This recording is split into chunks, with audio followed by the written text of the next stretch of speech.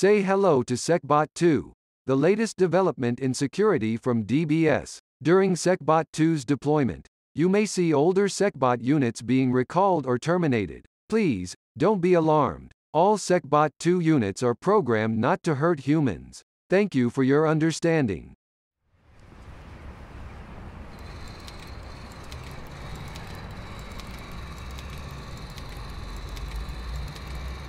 Stop. You will be terminated. Stop. You will be terminated.